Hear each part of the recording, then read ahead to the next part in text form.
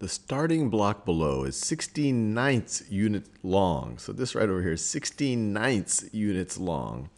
Use the tools to the right to convert the starting block into the goal block that is one unit long. So this right over here is one unit long. You can see your progress as the current block. So how do we convert this into one unit? Well, one, we can start cutting it into some pieces, and let's just see what happens. So if we cut into two pieces, how big is each, how big is this red section now? So if we cut this in half, a half times 16 ninths, this is now going to be 8 ninths. If we cut it into four pieces, if we cut it into four pieces, then this is going to be 4 ninths. If we cut it into, looks like we're going to have to go all the way to 16 pieces to get it into 1 ninths. So let's cut this into 16 pieces. So now we've, if you take 16 ninths, and if you were to cut into 16 pieces, this is going to be 1 ninth right over here.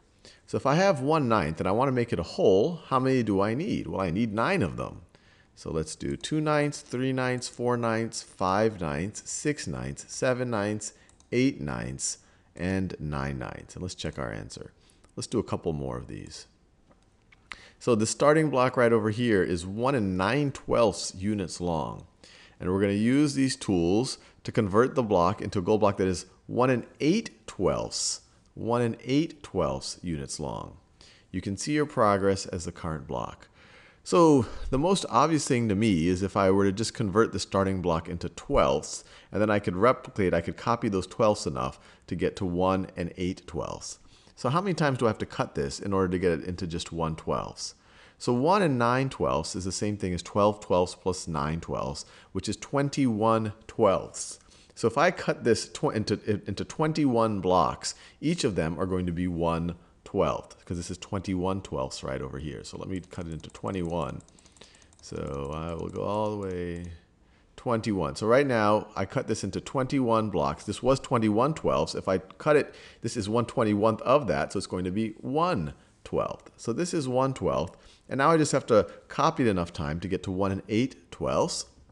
And 1 and 8 twelfths is the same thing as 12 twelfths plus 8 twelfths is 20 twelfths. So this is 1 12th. If I get 20 of these, then it's going to be the same length. So let me do that. So it's 1, 2, 3, 4, 5, 6, 7, 8, 9, 10, 11, 12, 13, 14, 15, 16, 17, 18, 19, 20. And we are spot on. Let's check our answer. Let's do one more of these. This is fun. So this starting block is 11 eighths units long. We want to convert it into a block that is one unit long. So if I can convert the starting block into eighths, and the way that I can make this into 1 eighth is by essentially dividing it by 11. If I have 11 eighths and I divide by 11, I'm only going to have 1 eighth. So let me cut into 11 pieces. So now this is 1 eighth. And then if I take this 1 eighth and if I, if I replicate it, so I have 8 of them, 8 eighths is going to be equal to 1. So let me do that. 2, 3, 4, 5, 6, 7, 8. And we got it right.